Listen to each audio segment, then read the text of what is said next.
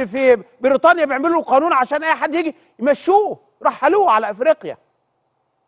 ده لو حصل في مصر تحصل يحصل إيه في مصر؟ هي الدولة النهارده بتعمل بتعمل عشان إيه؟ وفي رئيس جمهورية بيقعد مدى الحياة.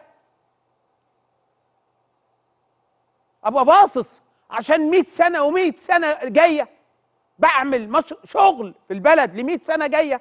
حد بيقعد 100 سنة ولا عشان اللي جاي واللي جاي واللي جاي يلاقي بلد قايمة بلد واقفة على رجليها. بلاقي ده إحنا كنا بنتكسف لما نروح دول ونشوف دول. مع تقديري للجميع. مع تقديري للجميع.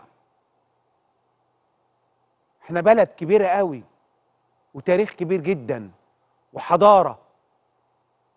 بس الموضوع مش كله تاريخ. ما إحنا نبص على المستقبل.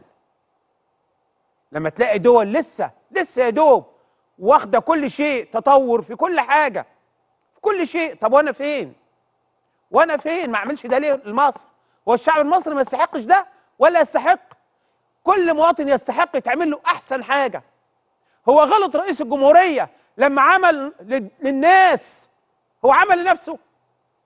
هو في رئيس بيعمل لنفسه ولا بيعمل الشعب؟ محتاج إيه؟ والراجل مش عارف.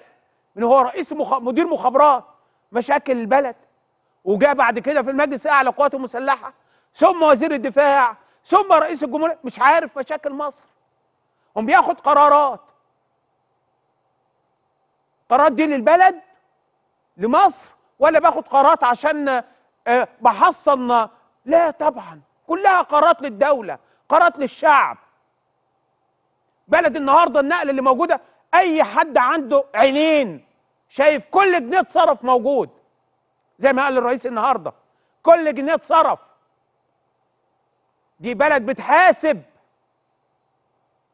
حد يقدر النهارده حد بيطبطب على واحد يكون آه، قضايا فساد؟ ابدا. لو مين؟ لو مين؟ ده الحساب على على إيه؟ على إيه على أقول إيه؟ مش عايز يعني يخرج عن السياق يعني. والله بتكلم جد مفيش هنا بزخ فيش طرف.